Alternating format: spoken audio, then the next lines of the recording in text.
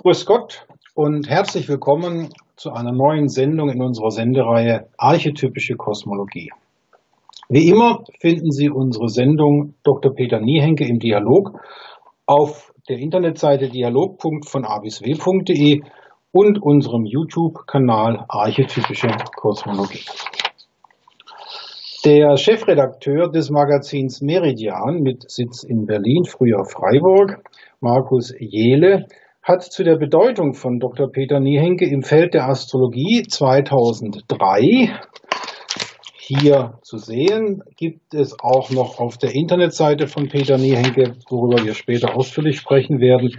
In diesem Interview mit der Überschrift Ich mag keine Krämerseelen führte Markus Jehle aus, Zitat, Peter, deine Verdienste als Astrologe sind unbestritten. In deiner Zeit als DAV-Vorsitzender von 1981 bis 1991 hast du aus einem zerstrittenen astrologischen Altherrenclub einen modernen Berufsverband gemacht. Durch eine engagierte Presse- und Öffentlichkeitsarbeit hast du für eine seriöse, verantwortungsbewusste Astrologie geworben. Deine streitbaren Fernsehauftritte sind Legende da sei nur erinnert an den heißen Stuhl bei RTL. Dir ist es gelungen, ein astrologisches Einsteigerbuch in der gelben Reihe des Reklam Verlages zu platzieren. Das ist heute in einer neuen Ausführung etwas größer bei Reklam äh, noch zusätzlich erschienen. Du hast 1986 über ein astrologisches Forschungsthema promoviert das ist diese Doktorarbeit Kritische Astrologie. Und seit 1991 einen staatlich anerkannten Astrologie-Fernkurs etabliert. Heute leitest du ein DAV-Forschungs- und Ausbildungszentrum und hast soeben die Deutsche Akademie für Astrologie mitbegründet. Ende des Zitats. Der Chefredakteur des Meridian bezieht sich hier darauf, dass Dr. Peter Niehenke in der Rezeptionsgeschichte der revidierten Astrologie nach Thomas Ring eine wesentliche Rolle spielte. In der Universitätsgeschichte der Neuzeit war seine Dissertation, die ich hier nochmal hochhalte, kritische Astrologie zur erkenntnistheoretischen und empirisch-psychologischen Prüfung ihres Anspruchs, ein ähnlicher Sturm im Wasserglas wie die Promotion von Elisabeth Tessier, der Hofastrologin von Präsident Mitterrand an der Pariser Sorbonne. Die Dissertation von Dr. Niehenke war auch Gegenstand des Astrologischen Forschungstages am 8. Dezember 2007 in Hannover. Wir hätten uns also natürlich dieses Gespräch heute auch schenken können, weil Dr. Niehenke sowohl sein Reklambuch Astrologie eine Einführung als auch seine Dissertation Kritische Astrologie vollständig frei verfügbar ins Netz gestellt hat und wir in Hannover auch dieses Buch in PDF-Form frei im Netz verfügbar gemacht haben. In dem Artikel von 2003, also in diesem Artikel, den ich vorher hochgehalten habe, ist auch das Horoskop von Dr. Peter Niehenke abgedruckt für Interessierte. Seine Horoskopdaten sind Montag, 9. Mai 1949, 22 Uhr 22, Geburtszeit korrigiert durch Dr. Peter Niehenke selbst, geboren in Hamm bei Arnsberg. Was ihn gegenwärtig im Jahre 2019 umtreibt und interessiert, kann man sehr ausführlich bei Facebook unter Peter Niehenke finden. Bei Facebook reicht der Interessenspannungsbogen von Dr. Peter Niehenke von Quantenphysik und künstlicher Intelligenz über Bewusstseinsphilosophie und Bewusstseinspsychologie, der Mensch als Biomüll bis hin zu China und den dortigen Werte- und Moralproblematiken. Aber wie immer ist der persönliche Gedankenaustausch etwas anderes als gedrucktes. Und deswegen freue ich mich, heute mit Peter Niehenke, mit dem ich schon sehr lange per Du bin, in diese vielfältigen Aspekte seines Menschenbildes, seiner Astrologie und seiner Spiritualität einzusteigen. Lieber Peter, herzlich willkommen. Wie immer als erste Frage, wie sieht dein Alltag 2019 im Emmental in der Schweiz und eventuell zusätzlich im Astrologiezentrum Würzburg und in der ursprünglich von dir mitorganisierten Internet Astrologiezentrums GmbH aus? Du hast das Wort. Ja, okay. Also, ich würde diese Frage gern in zwei Teile teilen. Also das, äh, das eine ist äh, die Frage, wie sieht mein Alltag aus? Also da denke ich an so einen typischen äh, Tagesablauf. Und das, und das Zweite ist die Frage, was bewegt mich? Also das eine ist mehr so das, was tue ich? Und das Zweite wäre, was bewegt mich innerlich, also sowohl intellektuell als auch emotional. Und ähm, zum Tagesablauf gehört natürlich ganz wesentlich der Beruf. Also, wo bin ich? Also la, lass mich, lass mich kurz, ne, lass mich kurz einfach mal so schildern. Also wo bin ich? Im Moment bin ich in Affoltern, in der Schweiz, in einem Haus. Dieses Haus ist ein Vereinshaus. Also das gehört dem Verein AFEGA, die Arbeitsgemeinschaft für Grundlagenforschung, die äh, gegründet wurde von meinem Partner und mir vor, ich weiß nicht, im Jahre 2009 oder so. Das habe ich gesehen und auf deiner Homepage, richtig? Da gibt's ganz genau. Und ich, ich lese mal vor, was der Sinn von der AFEGA ist, dann, weil das brauchen wir noch, weil das ist ja jetzt hier ein Vereinshaus und ich wohne da drin und ich habe in diesem Haus ein lebenslanges Wohnrecht, aber das Haus gehört mir nicht. Es gehört dem Verein. Und der Verein, der hat folgende, nach Satzung folgende äh, Aufgaben. Also erstens, Forschungsschwerpunkt ist die Erkenntnistheorie der Astrologie also Forschungslogik, Methodik der Forschung, angemessene Forschungsstrategien. Zweitens, Betreuung von Diplom- und Doktorarbeiten mit Fokus auf eine Fragestellung aus dem Bereich der Astrologieforschung. Diplomanden und Doktoranden, die für ihre Forschungen im Bereich der Astrologie Unterstützung bezüglich konkreter astrologischer Fragestellungen als auch bezüglich des Designs ihrer Untersuchungen usw. So benötigen, können sich an den Verein wenden. Drittens, Aufbau einer zentralen Erfassungsstelle für astrologische Forschungsvorhaben in der Welt auf der Grundlage einer computergestützten Datenbank. Und viertens, Bewahrung und Weiterentwicklung des Lebenswerks von Dr. Niehenke, der sich in besonderem Maße um die erkenntnistheoretischen Grundlagen der Astrologie verdient gemacht hat, durch Finanzierung von Forschungsvorhaben und Bereitstellung von Ressourcen für seine Forschungstätigkeit. Das also ist die, die AFEGA, die Arbeitsgemeinschaft zur Förderung der erkenntnistheoretischen Grundlagenforschung in der Astrologie. Und der AFEGA gehört das Haus, in dem ich hier bin. Das hat, also mein Partner und ich gemeinsam haben dieses Haus gebaut und ich kann in der Schweiz gar kein Haus besitzen. Das ist gar nicht möglich als Ausländer. Das gehörte also meinem Partner. Und aus Gründen, die in diesem Interview noch erwähnt werden, war es nicht tunlich, dass mein Partner mir das Haus vollständig vererbt, als er starb, weil ich ja durch meine bürgerrechtlichen Aktivitäten, äh, das wäre mir sofort weggenommen worden, sozusagen. Aus dem Grunde ist das so gemacht worden, dass er das äh, Haus dem Verein vererbt und vererbt hat und ich habe ein lebenslanges Wohnrecht in diesem Haus. Aber jetzt so, das Haus gehört also diesem Verein? Dann jetzt, jetzt, jetzt machen wir mal eine Pause. Ähm, ich habe dazu eine Frage. Das klang für mich so, ich habe ja mal in Freiburg, als du noch in Freiburg gelebt hast, an einer äh, Veranstaltung teilgenommen, die von der Forschungssektion des Deutschen Astrologenverbandes durchgeführt wurde. Leiter der Forschungssektion war Dr. Peter Niehenke und da waren dann interessante Leute dabei. Und das, was du gerade als Vereinszweck beschrieben hast, das klang so, als ob das ungefähr dasselbe ist, was früher die Forschungssektion gemacht hat. Ja, es ist nicht die Forschungssektion, sondern das war das Forschungszentrum Freiburg. Also ich habe ja bis zu meinem Austritt aus dem Deutschen Astrologenverband habe ich das Freiburger Ausbildungs- und Forschungszentrum geleitet.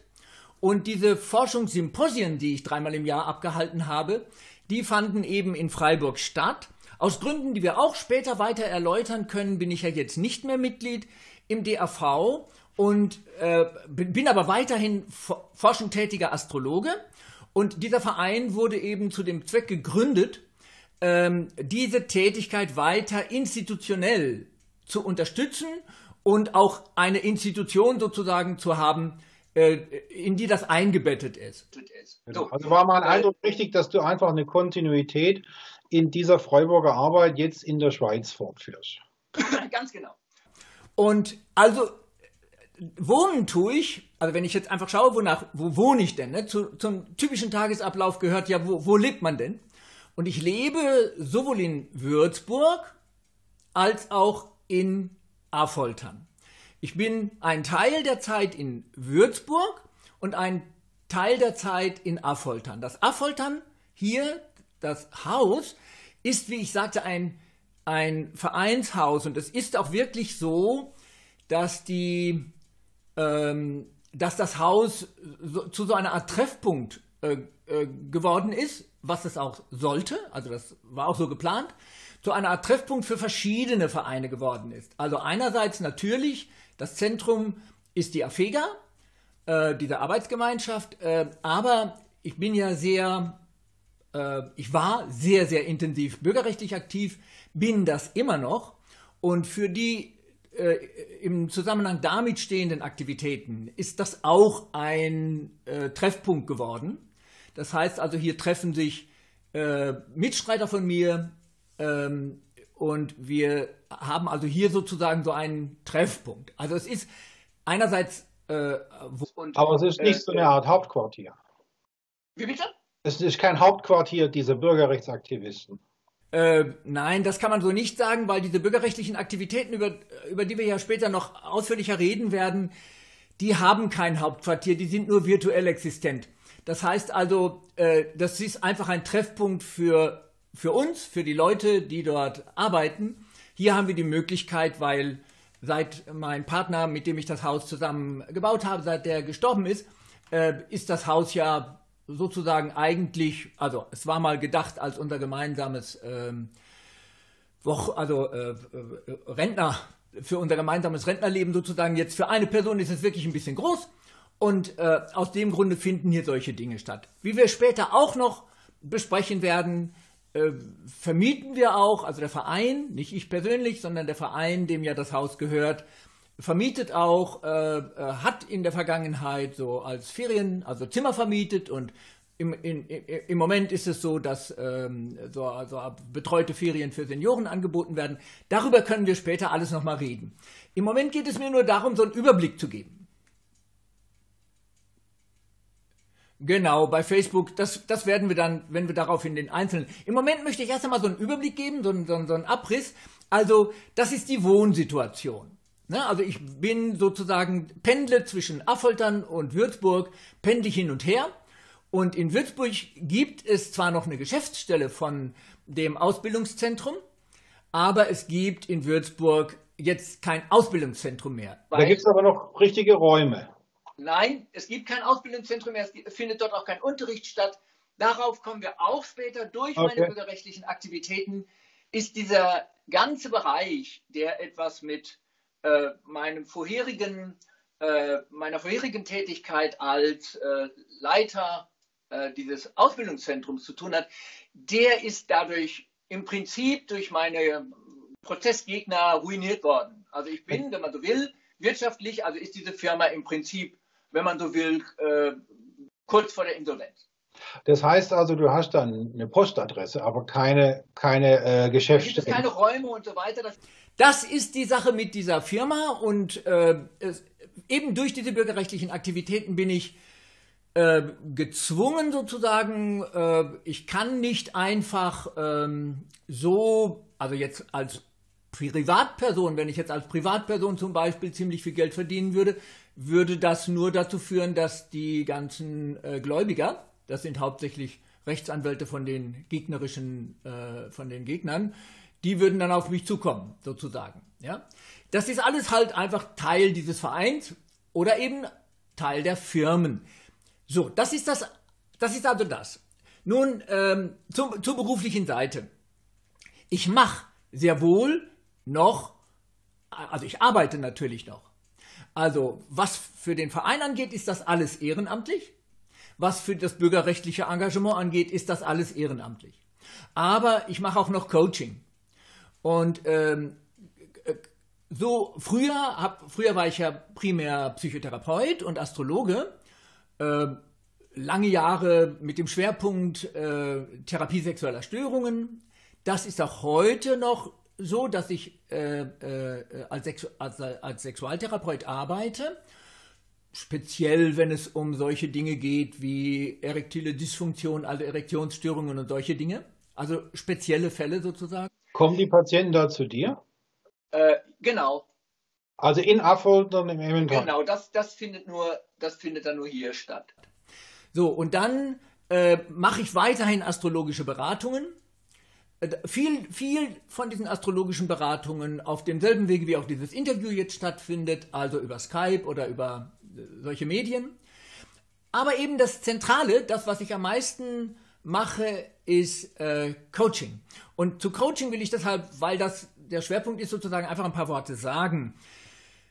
Normalerweise kennen wir dieses, diesen Begriff Coach, den kennen wir aus dem Sportbereich. Und ähm, das heißt also Coach von Sportlern. Und unter Coach versteht man eigentlich eben so jemanden, der aus dem Metier irgendwie kommt und die, äh, die seinen Schützling sozusagen äh, relativ umfassend unterstützt. Und nun, ich bin kein Sportler, ich habe auch tatsächlich keine Sportler als Klienten, ähm, aber das Coaching verstehe ich tatsächlich auch so. Also ich habe als Therapeut gearbeitet jahrzehntelang und mir wurde mit, im Laufe der Zeit das, das Setting, also diese Beschränkungen, die man sich in der Therapie auferlegen muss, also wenn man das Lega Artis machen will, die wurden mir zu eng. Also ein ganz bedeutsames Prinzip in der Psychotherapie ist ja diese Abstinenz, dass man selbst als Therapeut jetzt zum Beispiel nicht äh, hierher geht und dem Klienten bei irgendetwas konkret hilft, sondern die einzige Aufgabe besteht darin, dass man ihm äh, sozusagen Klarheit verschafft oder dass er sich Klarheit verschafft in der Therapie. Die Therapie ist auch abstinent in dem Sinn, dass da der Klient, der sitzt mir gegenüber oder er liegt auf der Couch bei der Psychoanalyse und äh, es, ich interagiere nicht mit ihm. also so, so, wie heute, wo ich ein bisschen zurückhalten will, weil ich dich erstmal den Überblick geben lasse. Ich halte mich zurück.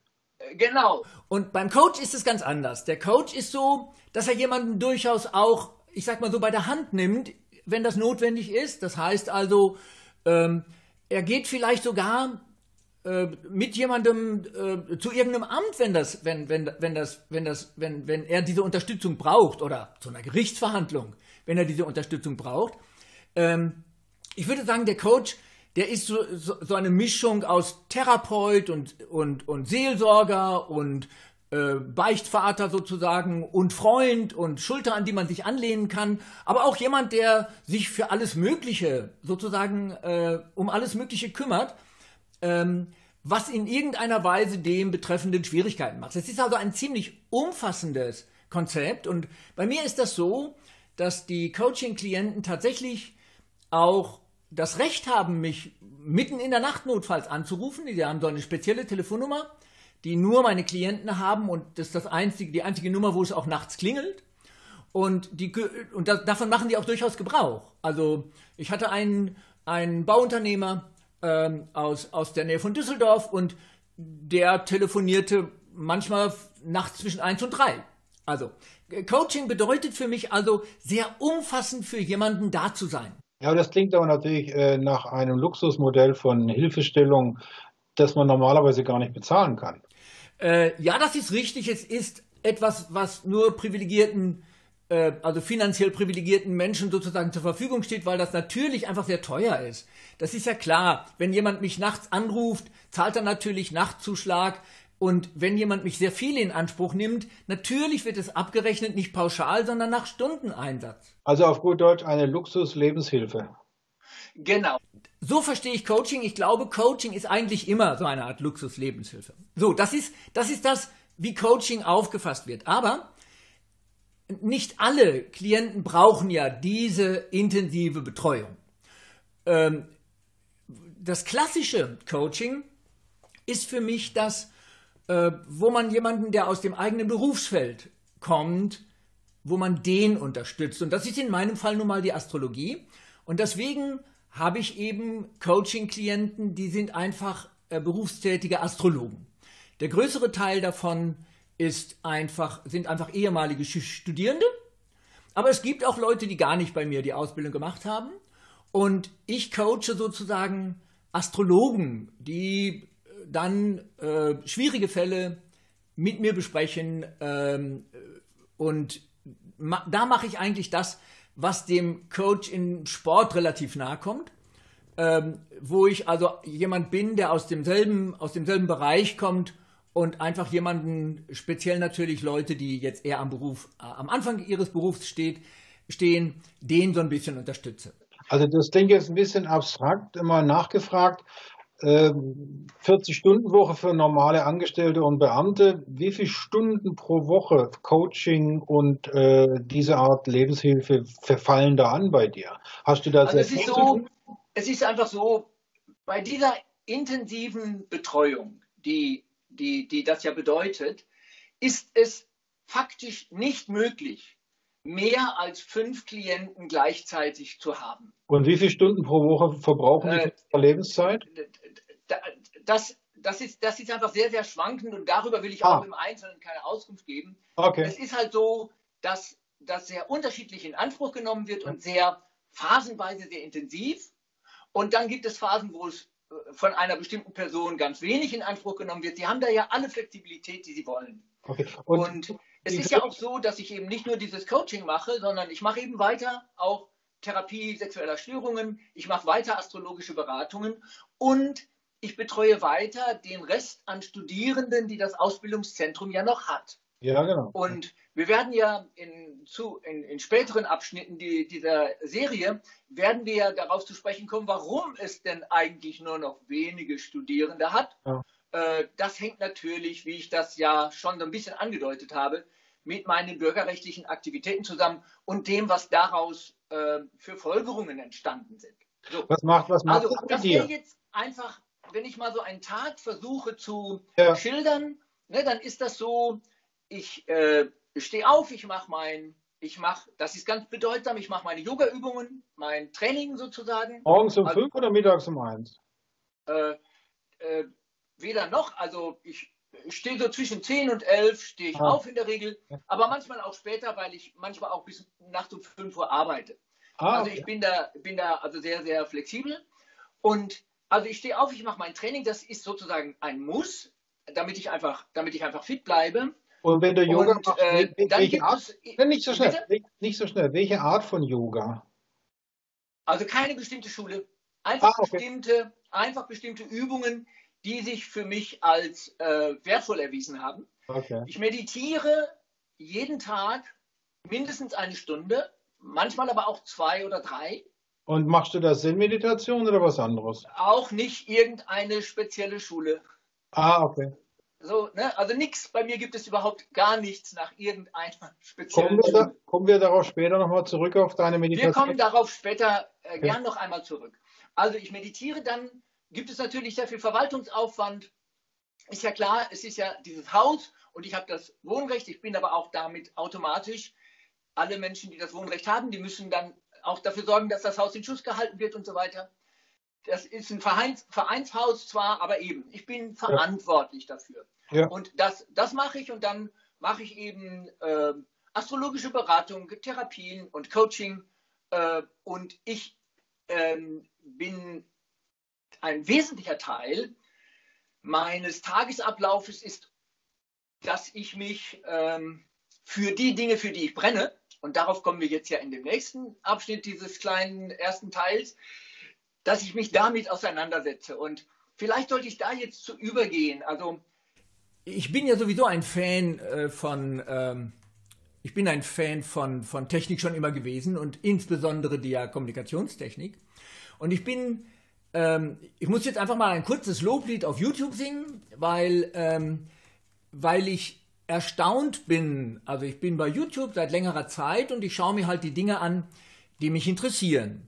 Und ja, dazu zählt, also ich finde es faszinierend, dass ich via YouTube, aber auch via andere Kanäle, aber speziell via YouTube, damit fing es an, dass ich die Möglichkeit habe, Vorlesungen in Berkeley zu hören oder an irgendeiner kalifornischen Universität ohne Probleme kann ich äh, von, von Affoltern aus, kann ich diese Vorlesungen hören und ich bin, nutze das sehr intensiv. Also ich höre. Also ja, da kann, da kann ich was einwerfen. Der Grund, warum wir heute überhaupt im Interview sind, war, dass ich bei YouTube einen Vortrag mir angeguckt habe, so wie du es das schilderst, von Becca Tarnas, und zwar ihre Doktorverteidigung, ihre rigorose. Und wegen dieses YouTube-Videos bin ich auf die Idee gekommen, was Neues zu machen. Ja, genau. Also bei mir ist es so, eben ich habe ich, ich, ich, ich habe ja Physik und Mathematik studiert neben der Psychologie, habe ich ja Physik und Mathematik studiert und natürlich mein, also das, was mich schon seit meiner Kindheit bewegt, ist, ich möchte die Welt verstehen, das würde ich jetzt mal sagen, so Bereich Physik, ich möchte die Menschen verstehen und ich möchte mich selbst verstehen. Und um die Welt zu verstehen, gut, dazu gehört, dass ich, ähm, die, also da, da haben die Naturwissenschaften eine große Rolle und ich bin natürlich fasziniert von dem, was es an neueren Entwicklungen gibt in der Physik, also die Quantentheorie und die künstliche Intelligenz, die ganze Informationstechnologie und so weiter. Und da bin ich sehr, sehr intensiv unterwegs.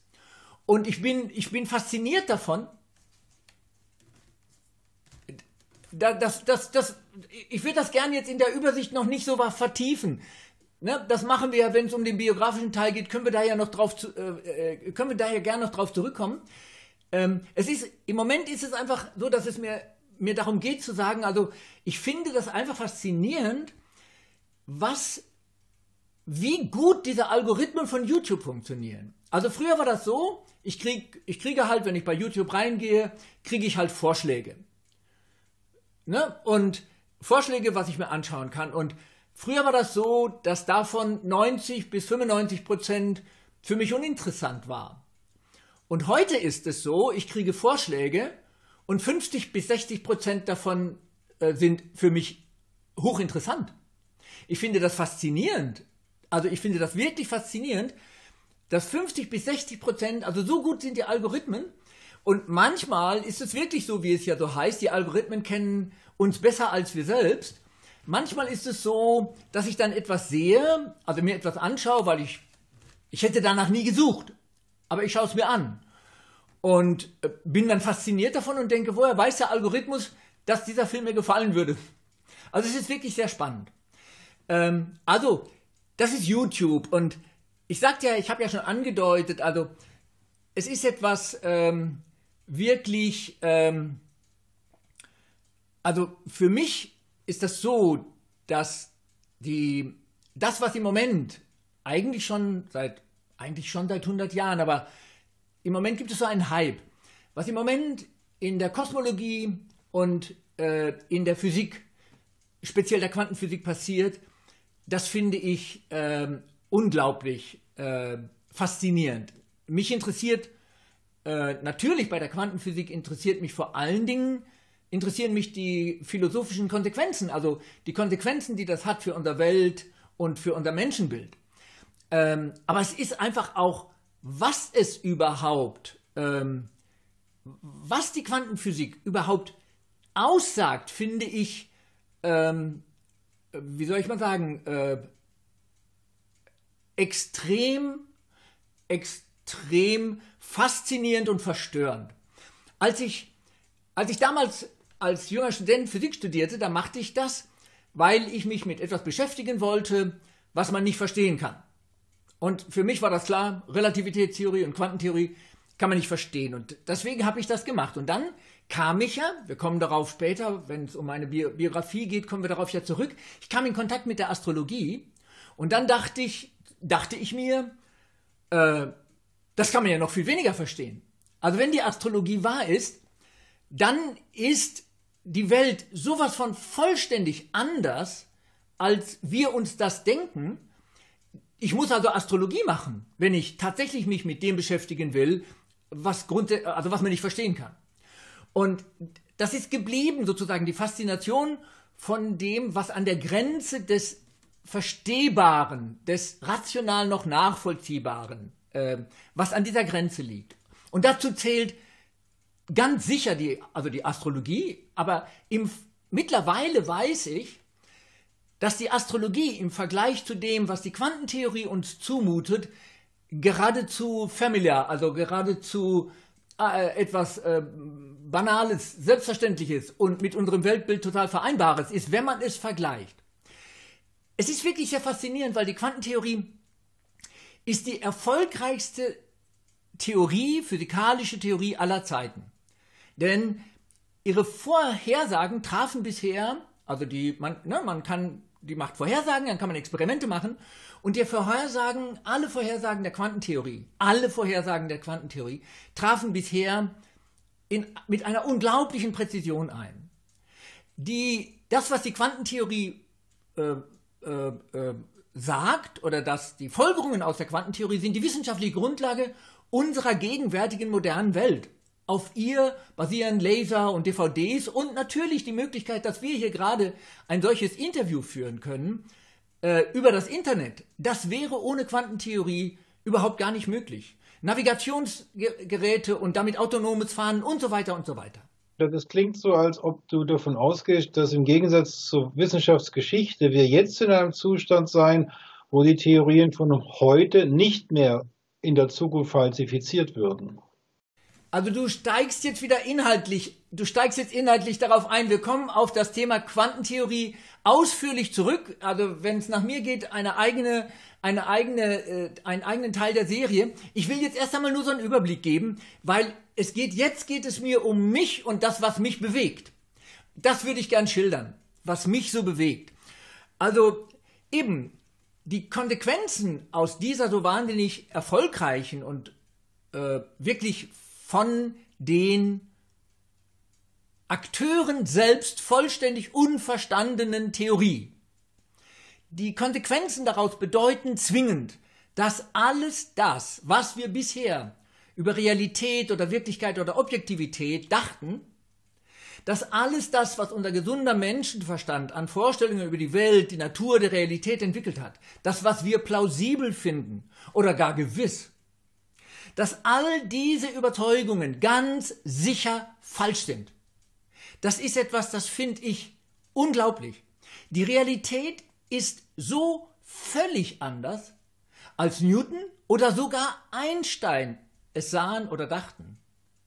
Und das Unglaublichste an dieser Sache ist, dass die Wissenschaftler und Techniker sehr erfolgreich diese The also eine Theorie nutzen und anwenden, deren Bedeutung niemand von ihnen selbst versteht. Wirklich niemand. Sie funktioniert. Aber seit mehr als 100 Jahren ist es ein Rätsel, was sie bedeutet. Niels Bohr ist einer der Väter der Quantentheorie und Niels Bohr sagte, wenn jemand behaupte, er habe die Quantentheorie verstanden, dann ist das ein sicheres Zeichen dafür, dass er sie nicht verstanden hat. Auf gut Schweizerisch würde man sagen, wem es bei der Quantentheorie nicht ablöscht, der hat sie nicht verstanden. Wie kann es für eine, was kann es, also die Frage, die ich mir stelle, ist, was kann es für eine spannendere geistige Herausforderung geben, als die Beschäftigung mit solch einer Theorie. Also muss man dann, muss, aber verlangst du da nicht ein bisschen viel von Normalleuten? Du hast ja Physik studiert. Was ist denn, wenn jemand Religionswissenschaft studiert hat? Kann der das? Also, ich, ich verlange das ja gar nicht. Ich sage doch nur, was mich bewegt. Ich, ich sage einfach nur, ich kann mir nichts Spannenderes vorstellen, als mich mit einer solchen Theorie zu beschäftigen. Offensichtlich gibt es Menschen, die können sich spannendere Dinge vorstellen. Aber ich denke mal, dass man, äh, um, um dich zu verstehen an der Stelle, sich schon klar machen muss, dass der Peter Nehenke Mathematik und Physik studiert hat. Äh, ja, klar, das habe ich ja, das habe ich ja nicht umsonst gemacht, ne?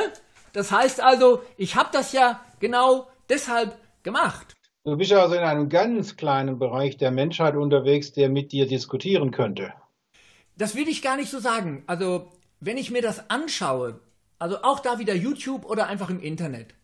Es gibt zahllose Seiten, in denen populärwissenschaftlich die, Wissenschaft, die, die wichtigsten Konsequenzen der Quantentheorie erklärt werden. Wirklich zahllose und auf allen Niveaus, also auf für vollständig also für Leute, die überhaupt keine naturwissenschaftliche Begabung oder, oder, oder Hintergrund haben, bis hin zu meinetwegen studentischem Niveau oder so.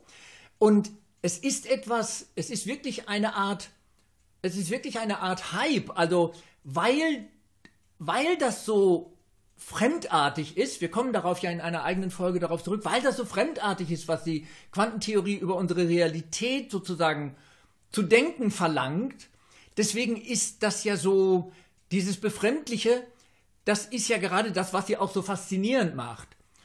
Und die, ähm, aber eben, die Quantentheorie ist natürlich nicht das Einzige. Also es ist auch nicht die einzige Herausforderung, der wir uns im Moment stellen äh, müssen an dieser Stelle der Entwicklung unserer, also der Menschheit sozusagen. Ich bin ziemlich überzeugt, dass wir an einer, also dass wir auf einen, auf einen, durch die künstliche Intelligenz und so weiter, auf einen Punkt zustreben in naher Zukunft, bei dem äh, es eine fundamentale Veränderung äh, der äh, menschlichen Gesellschaften äh, geben wird, eine fundamentale Veränderung wahrscheinlich der gesamten Menschheit äh, und die Wissenschaftler, die sich damit äh, intensiv, also unter anderem Zukunftsforscher, die sich damit intensiv auseinandersetzen, die nennen das eine Singularität. Also in der Mathematik ist eine Singularität einfach ein Punkt auf dem Zahlenstrahl, wo irgendein Funktionswert nicht mehr berechnet werden kann, also in, in anderen Worten unendlich wird. Und es gibt eine ganze Reihe von Wissenschaftlern, die sich mit künstlicher Intelligenz beschäftigen, die sagen, eine solche Singularität erwartet uns im Jahre 2050, äh, wo es einen, Drehpunkt gibt sozusagen für die Menschheit, der, äh, der vergleichbar ist einem evolutionären Sprung sozusagen. Das, äh, dafür gibt es gute Argumente, äh, dass das so sein könnte und ich finde das sehr faszinierend. Neben der Quantentheorie oder Darüber reden wir noch gesondert. Neben der Quantentheorie und eng verbunden mit der Quantentheorie ist eben das Thema, wie ich schon sagte, künstliche Intelligenz. Und ähm, bei der künstlichen Intelligenz, da geht es, also ein, ein Leib- und Magenthema von mir seit zwei Jahrzehnten, drei Jahrzehnten eigentlich schon, ist Bewusstseinspsychologie und Bewusstseinsphilosophie. Und die künstliche Intelligenz, die greift natürlich genau darin ein, was bedeutet das eigentlich, intelligent zu sein. Also es geht um die Frage, was ist denn damit überhaupt gemeint? Was ist gemeint, wenn wir sagen, ein Wesen habe Bewusstsein? Was ist damit gemeint? Das finde ich eine extrem spannende Frage, um mich selbst zu verstehen. Also einmal geht es darum, die Welt zu verstehen. Es geht darum, die Menschen zu verstehen. Das ist Soziologie und Sozialpsychologie. Äh, und natürlich auch Psychologie jetzt im Sinne der Individualpsychologie. Und dann geht es darum, ja auch sich selbst zu verstehen. Und natürlich ist das ist etwas, was wir bisher meinen, was uns Menschen auszeichnet, ist das, was wir Bewusstsein nennen. Und natürlich ist das eine total spannende Frage. Was ist denn damit überhaupt gemeint? Und das interessiert mich sehr. Und es interessiert mich sehr, welche Konsequenzen künstliche Intelligenz den wohl für die menschliche Zukunft hat. Das ist ein sehr intensiv diskutiertes Thema im Moment, auch so eine Art Hype wie bei der Quantentheorie und man findet auch dazu zahllose Beiträge bei YouTube und im Internet und Autoren wie der Hariri zum Beispiel äh, mit seinem äh, Buch äh, Eine kurze Geschichte der Menschheit äh, über, ich weiß nicht, Monate äh, auf Platz 1 der Spiegel-Bestsellerliste. Und der beschäftigt sich ja ganz intensiv eben mit den Folgen der künstlichen Intelligenz für, äh, und für die Menschheit, mit, in, speziell in seinem letzten Buch Homo Deus. Und ähm, ja, da kommen wir, also die künstliche Intelligenz, das Thema, das leitet über zu einem intellektuell seit der Zeit, äh, die ich im Gefängnis war, äh, für mich besonders bedeutend das besonders bedeutsamen Thema. Das lasse ich so nicht stehen. Du warst nicht im Gefängnis, du warst in Ordnungshaft. Das ist nicht ja, das, aber das, Leute mit, das aber das, das, ist nicht das, was Leute, die Nein, nein, es war keine Strafhaft. War du, warst nicht, du warst nicht verurteilt, du warst kein genau, Straftäter. War du, warst Opfer, du warst Opfer eines zivilrechtlichen Prozesses, wo eine durchgeknallte Richterperson dich in Ordnungshaft in einer Länge genommen hat. Und deswegen warst du physisch in der Justizvollzugsanstalt, aber in der Abteilung Ordnungshaft. Ja, ja, das ist richtig. Also es war, war mir jetzt wichtig. meiner bürgerrechtlichen Aktivitäten und ich würde schon sagen, was der deutsche Staat dort oder die deutsche Justiz mit mir gemacht hat, das ist ein monströses Verbrechen, ja, was da an mir verübt wurde. Das Aber das soll ja später mal Thema sein. Das, das Thema, aber ich wollte das, das, Wort Gefängnis lasse ich es nicht so durchgehen. okay, ich danke dir. Aber die, der Gefängnisaufenthalt war für mich eine sehr wertvolle Zeit. Wir werden darüber noch ausführlich reden. Ich bin ja sowas von in Frieden mit dieser Zeit. Es waren 17 Monate und sie waren quälend, aber sie waren in dem zweiten Teil meines Lebens die bedeutsame, bedeutsamste Zeit für meine persönliche Entwicklung. Und äh, deswegen habe ich damit auch gar kein Problem mit dieser Zeit. Und in dieser Zeit habe ich mich eben, äh, dort gibt es kein Internet und dort gibt es diese ganzen Möglichkeiten nicht. Und ich habe mich sehr intensiv mit Mystik beschäftigt. Und äh, da will ich ein Wort, zu dem Thema Mystik will ich ein Wort sagen, weil das ist ein sehr zwiespältiger Begriff. Also mystisch ist irgendwie so obskur, ganz nah bei obskur. Nein, nein, Moment, Moment, Moment, nicht so schnell. Mystik, da gucke ich dann in die Geschichte, da kommt dann sofort Meister Eggehard und der ist nun alles andere als obskur. Ja, aber ich meine im umgangssprachlichen Gebrauch. Ne? Ja, das ist ja das Problem von, das ist das, das Problem ist das, von umgangssprachlichen also, Menschen. Aber es ist halt einfach ein bisschen ein Problem ja. ähm, dieser, äh, also ja, also lass mir das mal einfach so dahingestellt ja, sein. Nein, nein, nein, nein, nicht so schnell. Das Wort obskur lasse ich dir genauso wenig durchgehen wie Gefängnis. Obskur für Mystiker, das geht gar nicht. Ja, ja, das ist ja klar. Ich meinte ja auch den umgangssprachlichen Gebrauch oder das, was normale Menschen und Wissenschaftler, was die, ne, was die sich so darunter vorstellen. Und deswegen will ich ja auch ein Wort dazu sagen. Also, ähm, ich habe mich auch im Rahmen meiner Doktorarbeit ne, zur erkenntnistheoretischen und empirisch-psychologischen Prüfung des Anspruchs der Astrologie habe ich mich intensiv mit Erkenntnistheorie auseinandergesetzt. Natürlich wie, also völlig unvermeidbar, kommt man zu Kant und kommt zu den ähm, äh, beeindruckenden Schlussfolgerungen, äh, die, also an, de, an, an, an Kant kommt man sozusagen nicht vorbei, man geht man geht darüber hinaus, aber man kommt an ihm nicht vorbei. Und, und es, sei, es sei noch daran erinnert, das hatte ich in der Einführung schon kurz angedeutet, die ganze Dissertation im Volltext steht auf deiner Homepage Astrologiezentrum. Wie heißt es? Astrologiezentrum.de steht sie zur Verfügung. Also, äh, aber eben, bei Kant ist es so, also fast jeder hat schon mal, also ne, ich will hier nicht irgendwelche erkenntnistheoretischen Spezialitäten ausbreiten, vielleicht später mal, aber fast jeder hat vielleicht schon mal so gehört, das Ding an sich.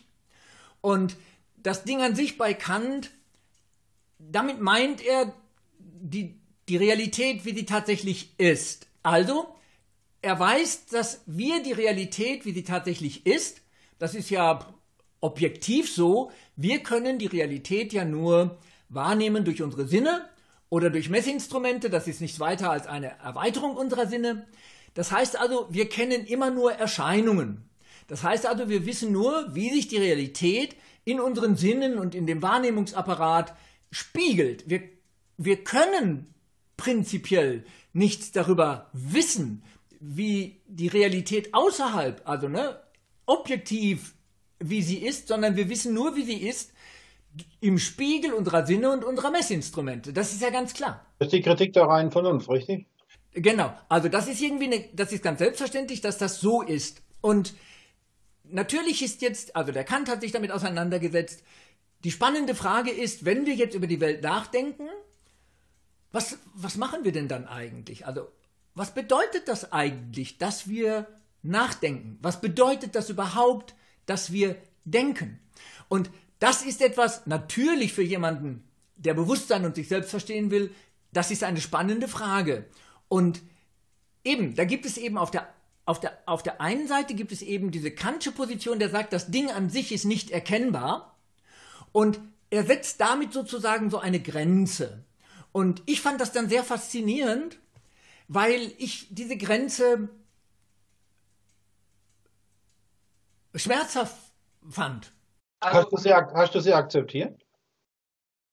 Nein, jein, nein, jein. Also, äh, ich bin, ich bin am Versuchen am Erzählen, was, was da mit mir passiert. Also, ich fand diese Grenze schmerzhaft und ich weiß noch, wie ich, wie ich mal zu einem Freund sagte,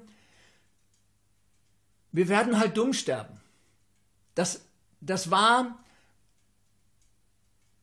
also so ein kleiner Vorgriff, ich habe Saturn im neunten Feld und das war wie so eine, so wie eine Bestätigung von Saturn im neunten Feld, so eine Art Resignation fast. Also wir werden halt dumm sterben. Es gibt die das. Sagt, und das sagt der Astrologielehrer, dass der immer betont, dass man die positiven Seiten von Saturn beachten soll. Ich bin bei der Übersicht. Also, ich, es war wie so eine, also sagen wir mal, eine Bestätigung des Schattens von Saturn in 9. So, ne? So. Und ich habe, ähm, also ich habe das schmerzvoll ge gefunden und habe dann wollte mich damit nicht zufrieden geben und merkte sehr spät erst merkte ich, dass es einen sehr berühmten Philosophen gab, der das auch nicht wollte. Und das war Hegel. Also Hegel hat Kant für genau diese Aussage, die ich so, äh, die fand ich so bescheiden und äh, bescheiden und irgendwie fast unumstößlich in ihrer Wahrheit von Kant. Also ich habe das, fand das sehr beeindruckend und der, der, der Hegel hat Kant genau für diese Aussage ziemlich herb kritisiert und hat ihm vorgeworfen, er sei nicht mutig genug und so weiter. Also Hegel wollte sich nicht damit zufrieden geben, dass wir das Ding an sich nicht erfassen können. Und das hat eben dazu geführt, dass ich mich ähm, angeregt durch die Literatur von Ken Wilber, also Ken Wilber ist für mich das Tor zur Mystik gewesen. Also der ist, also man, man könnte so sagen, im Bereich der Mystik ist Ken Wilber für mich das, was Thomas Ring im Bereich der Astrologie war, weil der Ken Wilber hat es hat sozusagen von seinem Naturell her hat er es war es ihm ein leichtes in seinen Büchern mein Widerwillen gegen das Dubiose, das ich in der Mystik bis dahin sah, meinen Widerwillen zu überwinden, indem er unglaublich trocken, rational, nüchtern an das Gebiet Mystik heranging. Und damit hat er mir sozusagen eine Tür geöffnet, weil ich fand das eben tatsächlich selbst früher tatsächlich obskur. Wie lange ist das her, dass du Ken Wilber kennengelernt hast? Wie lange das her ist? Äh, 15 Jahre? 15 Jahre, 20, vielleicht sogar etwas mehr. Ich glaube, Anfang der, der 2000er Jahre war das, glaube ich. Und okay, also durch Ken Wilber kam ich auf Hegel und ähm, durch Hegel kam ich, also He, was, war der, was war der Schritt von Ken Wilber? Also und der bezieht sich sehr stark auch auf Hegel. Und das kann ich kurz, wir kommen darauf später noch genauer zu sprechen, aber das kann ich kurz sagen. Was ist, was ist das, was jemanden zur Mystik bringt, der so trocken rational ist, wie ich das eigentlich bin? Ich habe Mathematik und Physik studiert und ich bin dreifacher Stier. Ich bin wirklich sehr rational. Ähm, und ich bin jetzt, ich bin kein Mystiker, das würde ich niemals so sagen, aber ja, also Mystik ist für mich sozusagen etwas Faszinierendes und wieso? Und ich denke, das kann ich relativ leicht erklären. Wenn man, wenn man, also Hegel folgt, Hegel, Hegel macht den Versuch, auf also strikt logische, rationale Weise, strikt logische, rationale Weise, die Rationalität zu transzendieren. Und das ist auch nötig. Und das erklärt er, warum das nötig ist. Also, der zentrale, der zentrale Begriff in Hegels Philosophie ist der Begriff. So, was sind Begriffe?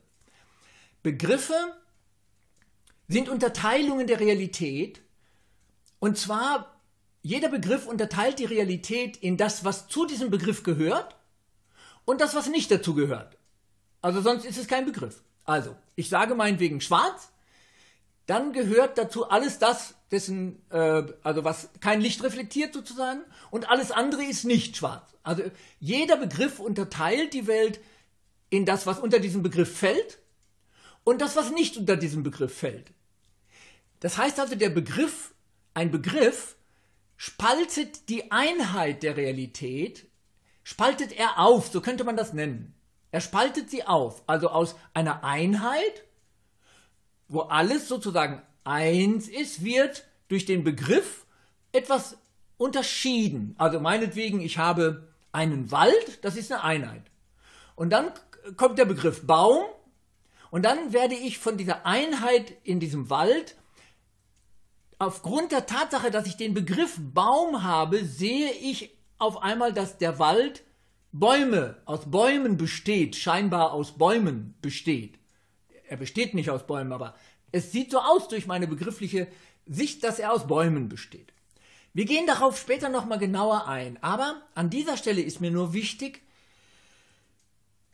durch, die, durch Hegel und durch Wil Ken Wilber wurde mir deutlich, dass es möglich ist, auf rationalem Wege zu dem Punkt zu kommen, an dem ich rational erkennen kann, dass ich ab hier rational nicht mehr weiter kann. Das hat damit zu tun, dass also, ich sag mal, der Mystik zugrunde liegt eine, wie nenne ich das jetzt? Das ist, ich sag mal, Erfahrung oder Intuition oder ein Wissen. Und das bedeutet, das gesamte Universum ist eine unteilbare Einheit. Das gesamte Universum, einschließlich uns allen und so weiter. Und zunächst einmal erscheint diese Aussage absurd, weil da sind Bäume, Menschen, Häuser, Elemente, da ist Volker und Peter, das ist doch nicht alles eins. Und zunächst einmal, und daran hängt sich die Logik dann auf, und das macht den Unterschied auch zwischen Rationalität und Mystik auf, logisch gesehen scheint diese Aussage unsinnig, dass alles eins ist, weil wir sehen eine unendliche Vielheit. Damit hat sich der, hat sich der ähm, Hegel auch sehr intensiv auseinandergesetzt und er spricht, wenn er von der gesamten, also von, von, von der gesamten Realität spricht, dann spricht er von der Totalität, ja, von der Totalität. Und ich würde jetzt einfach mal sagen, also unser gesamtes Universum, ähm, das ist eine Einheit. Und diese Einheit ist für uns, wenn wir logisch und rational an die Sache herangehen, ist sie, ist das eine unsinnige Behauptung. Und ich, durch Ken Wilber wurde mir dann, also er hat das einfach sehr gut dargestellt, da wurde mir klar, dass die Weisen, die, die Weisen, die Gurus, die Mystiker aller Zeiten behaupten das aber, dass die Welt eine Einheit sei und dass die Vielheit der Welt die wir wahrzunehmen meinen, dass die Maya ist, eine Illusion. Und ich musste wirklich 17 Monate im Gefängnis sein, um diesen Unsinn zu verstehen. Diesen Unsinn, der sagt, die Welt, die wir wahrnehmen, sei eine Illusion. Also, äh, den Moment, dann hast, du, dann hast du aber den Ken Wilber zwar vor 20 Jahren kennengelernt, aber so richtig vertieft hast du ihn erst dann äh, in dieser Zeit. Ich war vor 20 Jahren absolut fasziniert von diesen, von, von dem, was er schrieb. Und ich habe mich ja auch auseinandergesetzt. Ich habe zum Beispiel Meister Eckhart selbstverständlich, das ist einer meiner Lieblingsautoren aus der damaligen Zeit. Und ich finde, er ist ein Genie und er ist ein Mystiker. Und, äh, aber er ist sowas von trocken rational, dass es einem die Schuhe auszieht. Also es gibt keinen unchristlicheren Mystiker als ausgerechnet Meister Eckhart. Meister Eckhart wäre beinahe wenn er nicht vorher gestorben wäre, auf dem Scheiterhaufen verbrannt worden, weil er so einen Satz sagte wie Du bist Gott. Du bist Gott. Das ist ein Satz, den kann man erst einmal nicht verstehen. Das, der erscheint hybrid oder gotteslästerlich. Aber nicht mehr, wenn man, ja, wenn man, man kann, und das hat, da hat Hegel mir geholfen und da hat Ken Wilber mir geholfen, der sich auf Hegel stützt und auch bezieht, man kann rational an den Punkt kommen, das ist jetzt für die Einführung zu lang, sonst würde ich würde das jetzt gern ausführen, aber das wäre zu lang. Wir würden dann jetzt da hängen bleiben. Ähm, aber man kann an den Punkt kommen, dass man rational versteht, an dieser Stelle komme ich mit Rationalität nicht mehr weiter, weil die Rationalität ist angewiesen auf Begriffe. Das Denken ist angewiesen auf Begriffe und Begriffe zerstören die Einheit des Universums und machen das, was man Dualität nennt. Also sie machen aus der Einheit etwas Duales. Und man kann die Einheit des Universums, das non die non-duale Wahrheit sozusagen, die kann man mit der Rationalität deshalb nicht verstehen, weil die Rationalität per Definition aufbaut auf der Dualität. Jeder Begriff ist nichts anderes als eine Erschaffung von Dualitäten. Das, das habe ich irgendwie in der ganzen Tiefe sozusagen in diesen langen Monaten im Gefängnis, wo ich ja wirklich täglich manchmal bis zu fünf Stunden meditiert habe, das habe ich dort, äh, das habe ich dort verstanden. Und seither ist es für mich so, dass wenn mich jemand fragt, warum beschäftigst du dich mit Mystik, dann sage ich, weil das die logische Konsequenz meines äh, ganzen Lebensentwurfs ist. Mein Lebensentwurf geht darauf, die Welt, die Menschen und mich zu verstehen. Und ich stoße schmerzhaft mit Kant an diese Grenze, an diese schmerzhafte Grenze, wo er sagt, da gibt es, es gibt diese Möglichkeit nicht, die Welt zu verstehen. Und ich spüre die Sehnsucht, dass ich über diese Grenze, dass ich diese Grenze trans transzendieren möchte. Und diese Sehnsucht wird durch die Mystik erfüllt. Sagen die Mystiker. So, und ich stand damals vor der Frage, will ich das, will ich das ernst nehmen und wie viel ist es mir wert, dass ich das ernst nehme? Wie viel bin ich bereit zu investieren, um, um ähm, jetzt bin ich gerade, äh, ich bin gerade ein bisschen verwirrt, weil es wird dunkel und ich habe die Befürchtung, wie ist, wie ist die Ausleuchtung? Okay, dann lasse ich das noch mal eine Zeit lang so. Also ich ähm, ich störse an diese Grenze und die Mystik ist insofern die natürliche, eigentlich der natürliche nächste Schritt in meiner Entwicklung, weil die Mystiker versprechen, dass es eine Möglichkeit gibt, diese Grenze zu transzendieren. Und die Mystiker sagen, das, das können, also selbstverständlich lässt sich das nicht erklären rational, denn wir haben ja gerade festgestellt, dass die Rationalität dort an ihre Grenze stößt. Aber wir können, wir können dich auch nicht ans Händchen nehmen. Aber wir, wir versprechen dir, wenn du einen bestimmten Weg gehst, dann kommst du, kannst du diese Grenze transzendieren. Wenn du einen bestimmten Weg gehst, dann kannst du die transzendieren. Und ich habe damals gedacht, okay, Peter, du hast dein, du hast die Dinge in, de, in, in deinem Leben, die dir besonders wichtig waren, erreicht. Also, du kannst doch das Risiko eingehen, wenn die Unsinn erzählen und du folgst ihren Weg, landest du in der Wüste und du stirbst tatsächlich dumm. Also, das Risiko kannst du doch eingehen. Du bist, also was willst du sonst? Was willst du sonst? Also habe ich mich entschieden, ich gehe diesen Weg, den die vorschlagen, ich gehe den einfach mal und schaue, ob der mich irgendwo hinbringt. Und ich mache das genauso, wie ich auch die Astrologie gemacht habe. Ich mache das mit maximaler Distanz und maximaler kritischer Distanz. Aber dir ist schon klar, was jetzt jeder Zuschauer sich fragt, hat der Peter den Zustand der Erleuchtung erreicht oder noch nicht? Auf solche Fragen antworte ich nicht und schon gar nicht in diesem ersten Teil. Ja, also ähm, ich habe mir überlegt, okay, gehst kein wirkliches Risiko ein. Du kannst das machen, du bist alt genug, du riskierst sozusagen keine Karriere und nichts, das hast du alles gemacht und hinter dir und das genügt mir ja auch. Ich bin, was das angeht, was das gewöhnliche Leben, sage ich mal so angeht, bin ich vollständig satt. Ich habe keinerlei Ehrgeizziele, keinerlei besondere Sehnsüchte. Ich bin satt. Ich kann, das kann ich hinter mir lassen. Ähm, und der nächste Schritt ist eben, ich lasse mich jetzt einfach, ich fange nochmal ganz von vorn an und ich lasse mich auf diesen Weg ein.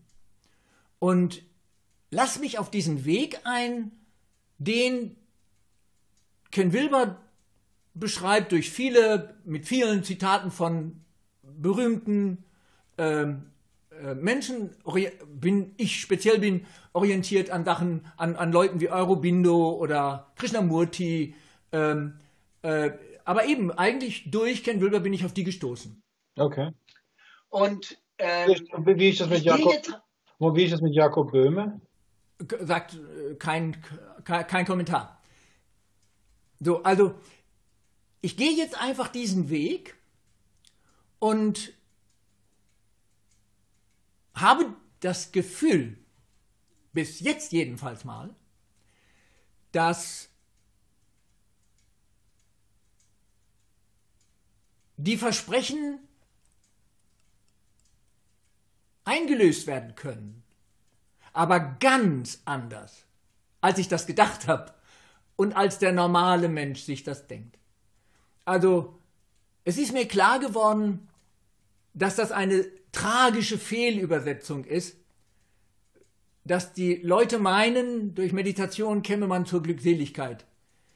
Äh, das heißt, das Wort Glückseligkeit, jedenfalls mal im Deutschen, ist vollständig inadäquat und es ist auch gar nicht die richtige Übersetzung für das, was die, was da aus den indischen Texten sozusagen, also Glückseligkeit im Sinne von Happiness oder so ganz sicher nicht. Das ist nicht der Zustand und das ist auch für mich nicht erstrebenswert. Danach strebe ich überhaupt gar nicht. Ähm, ich habe also einiges gelernt und ich merke ja, da sind, also es sind auf diesem Wege durch, durch Meditation, also im Prinzip sagen sie ja, meditiere. Und ähm, das Erste, was ich gelernt habe im Knast, ist, dass äh, Meditation nicht das ist, sich hinsetzen und total entspannt sein. Nein, Meditation ist ein Zustand maximaler Konzentration. Und es geht darum, körperlich sich dabei nicht zu verspannen. Immer dann, wenn wir uns sehr konzentrieren, dann äh, verspannen wir sehr schnell.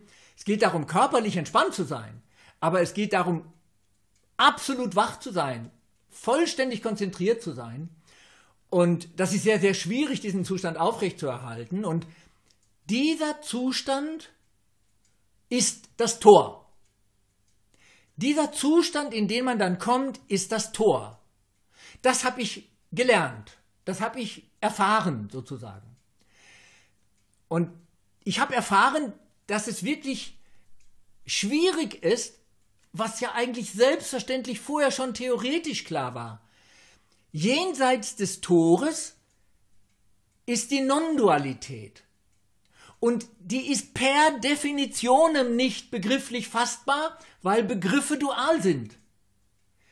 Es ist vollständig verständlich für jeden logisch denkenden Menschen, dass Begriffe, die die Welt immer teilen in zwei Teile, dass die nicht geeignet sein können, das Non-Duale wahrzunehmen. Und da habe ich mir gedacht, ich verstehe jetzt, warum die Mystiker Schwierigkeiten haben, sich auszudrücken. Und dann habe ich gedacht, wie kann ich das jemandem erklären, dass es schwierig sein kann, Sachen in Worte zu fassen? Und das dauerte gar nicht lang, dann dachte ich, versuch doch mal jemandem zu erklären, was grün ist. Wenn der noch nie grün gesehen hat oder farbenblind ist, gibt es keine Möglichkeit, in Worte zu fassen, was grün ist. Alle, alle, alle unsere sinnlichen Erfahrungen sind vollständig unerklärlich. Wenn wir jemandem sagen, erklären wollen, was grün ist, geht das nur, wie man in der Philosophie sagt, deiktisch. Das heißt, wir zeigen auf etwas Grünes und sagen, das ist grün. Wir können niemals sagen, grün setzt sich so und so zusammen. Wir können als Physiker sagen, grün hat die und die Wellenlänge. Aber dann müssen wir wieder rekurrieren auf Messinstrumente, die Wellenlängen messen. Das heißt, mit unseren Sinnen, da sagt der Physiker, kann gar nichts sagen. Das heißt also, das ist doch gar nicht so speziell, was die Mystiker dort sagen. Das ist doch gar nicht ungewöhnlich, dass sie sich nicht in Worte ausdrücken können, weil sie sagen, wie die sinnliche Erfahrung, auch die ist transrational. Die ist nur erfahrbar und niemals benennbar, außer indem ich ihr Namen gebe, aber niemals Erklärungen und niemals funktionale Zusammenhänge. Sie ist unmittelbar. Jede sinnliche Erfahrung, Erfahrung ist unmittelbar und nicht vermittelt durch den Verstand. Wenn ich herkomme und das dann benenne, das ist jetzt grün, das ist vermittelt durch den Verstand. Dann kommen die Begriffe ins Spiel. In dem Moment, wo ich das sozusagen einordne. Aber die Erfahrung selbst ist unmittelbar, also unvermittelt, und das ist in der Mystik gar nichts Spezielles. Das war eine für mich sehr bedeutsame Einsicht, weil die Mystik damit entmystifiziert wurde. Für mich. Und du gehst gerade langsam in den Schatten. Du brauchst, glaube ich, langsam. Ja, genau. Und das passt ja vielleicht auch zum Thema. langsam, denke ich, soll, sollten wir für ein bisschen mehr Licht sorgen. Ja. Äh, so, sonst wird das schwierig. Oder vielleicht auch an dieser Stelle eine Pause machen, damit ich für ein anderes, äh, für ein besser beleuchtetes äh, Dings sorgen kann. Ja, mach das. Ähm, denn es fehlt, zu der Übersicht fehlt halt noch der emotionale Teil. Also das, was wir machen jetzt eine Pause. So wir machen jetzt eine Pause und du machst Licht und dann geht's weiter. Okay.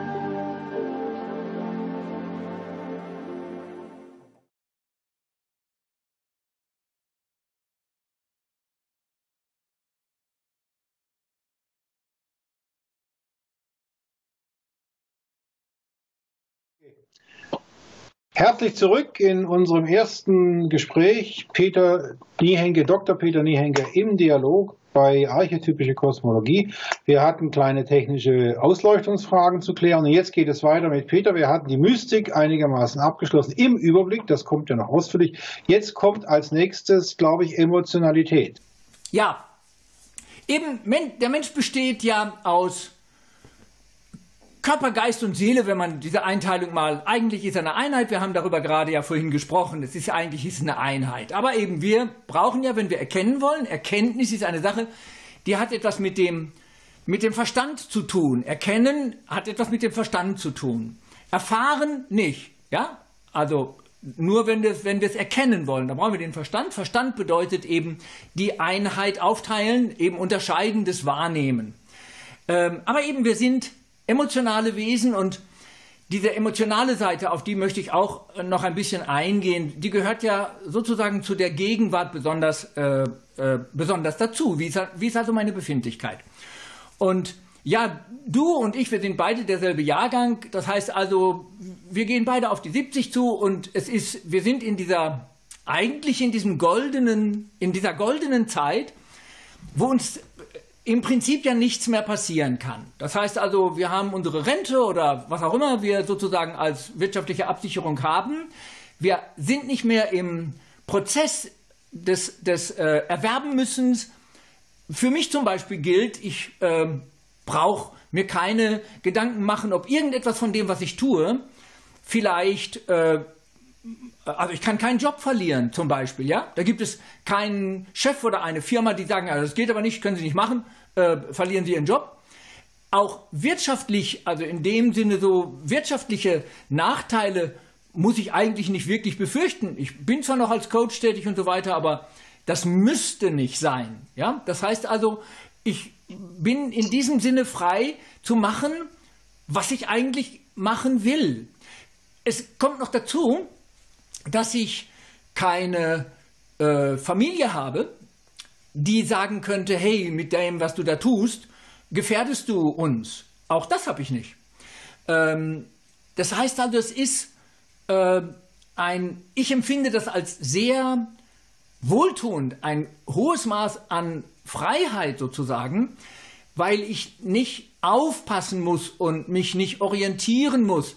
Es gibt keine Kinder, die sagen, hey, wenn du sowas machst wie nackt durch die Stadt laufen, wir werden in der Schule lächerlich gemacht dafür oder so. Alles das Passiert nicht. Bei meinen bürgerrechtlichen Aktivitäten ist keine Frau da, die sagen kann, du ruinierst unsere Familie mit dem, was du da machst, äh, weil du, äh, ne, wir, äh, unser gesamtes Vermögen oder was, die Zukunft unserer Kinder. Ich habe keine leiblichen Kinder. Das heißt also, alle diese Sachen fallen bei mir weg.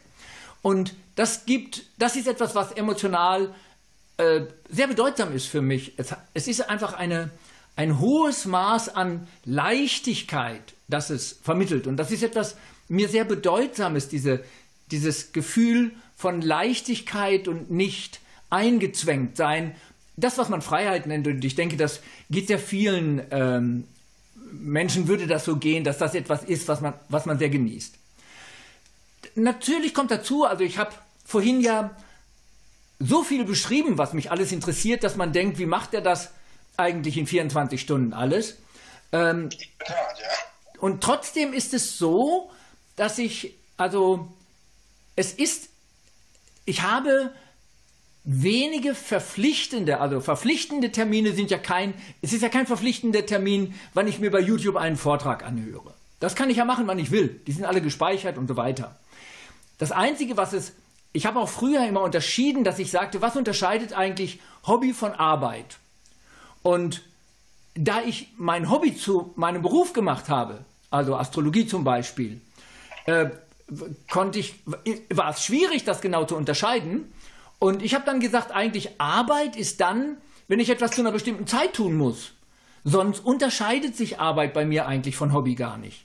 Es gibt natürlich so ein paar Dinge, die sind, also die Steuererklärung zählt jetzt nicht zu meinem Hobby, ja, und die Buchhaltung. Aber es gibt so ein paar Dinge administrativer Art und so, die muss man tun. Aber im Prinzip ist es so, dass alles das, was ich tue, seit Jahrzehnten, ist alles das, was ich tue, beruflich tue, womit ich mein Geld verdiene, das würde ich auch tun, wenn ich damit kein Geld verdienen würde. Das hätte ich auch getan aus Hobby. Die, Do die Doktorarbeit da habe ich auch kein Geld bekommen, da habe ich sieben Jahre lang dran gearbeitet.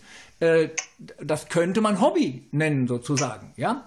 Ich, und es gibt also bei mir, und das passt zu meinem Mond und der Mond-Neptun-Konjunktion, die ich im zehnten Feld habe, dass ich zu dem, was ich beruflich tue, eine ausgesprochen persönliche Beziehung suche. Also das typisch dafür rein, ich sag mal so, als äh, Symbol oder wie man das nennen will, bei mir stand, als ich die Doktorarbeit machte, der Computer im Schlafzimmer. Das passte sehr gut. Also das, ich war sozusagen wirklich mit meinem Beruf oder mit dem, was ich tat, verheiratet. Da ist irgendwie was dran. Das ist also eine sehr emotionale Beziehung, die ich zu meiner Tätigkeit habe, was ja für einen Therapeuten und für einen Berater auch äh, ausgesprochen angemessen ist.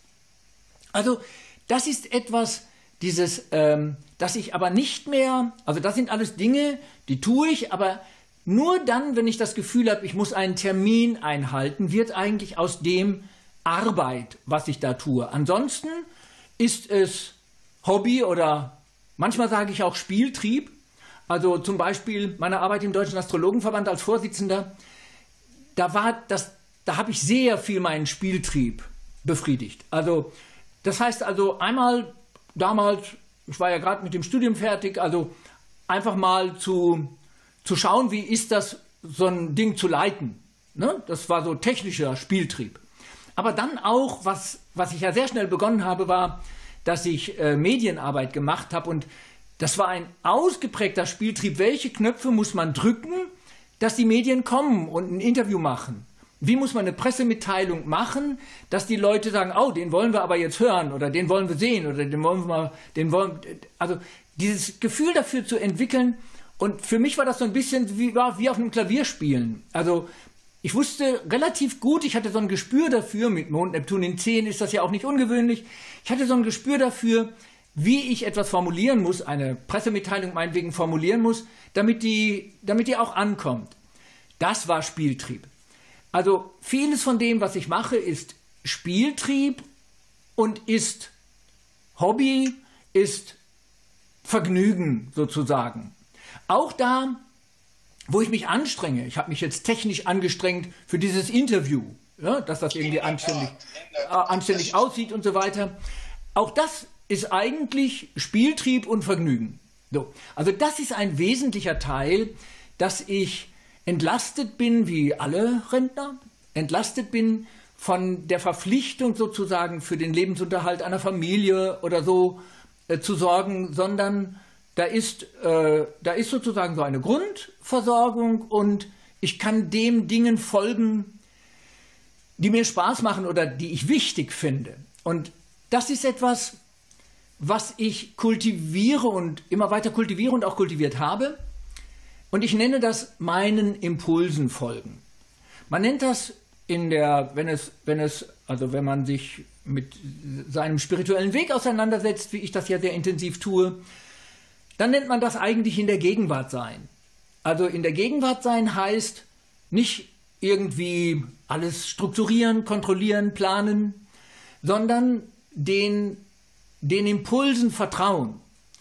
Das bedeutet natürlich nicht, dass ich mich ausliefere, meinetwegen, wenn ich ein jemand wäre, was man an meiner Figur sieht, bin ich wohl nicht, der extrem abhängig ist von Süßkram, dann würde meinen Impulsen folgen für mich jetzt nicht bedeuten, dass ich einfach diesem, äh, dieser Gier erliege.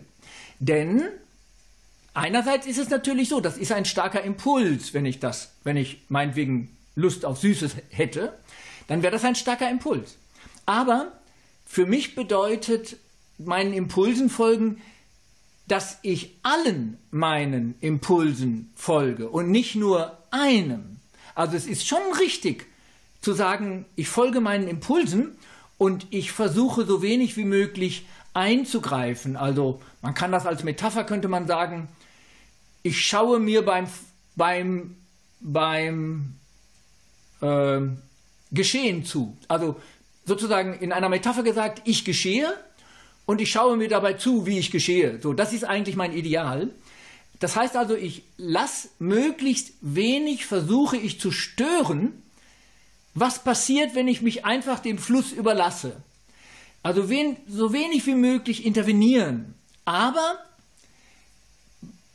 bei dieser, was bedeutet es, also das Entscheidende ist, was bedeutet es, sich dem Fluss zu überlassen? Und das bedeutet für mich, ähm, in der Mitte sein. Und in der Mitte sein ist eine Metapher dafür, dass alle die Impulse, die man im Horoskop, wie wir als Astrologen ja überzeugt sind, sehr gut erkennen kann, dass ich allen meinen Impulsen ihrem für mich typischen individuellen Gewicht gemäß Raum gebe.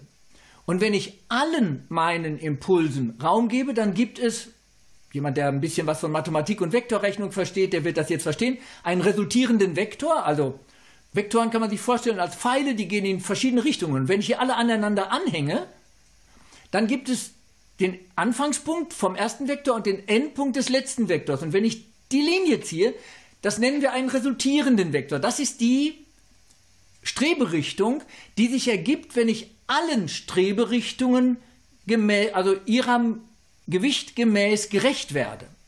Und diesem Impuls versuche ich zu folgen.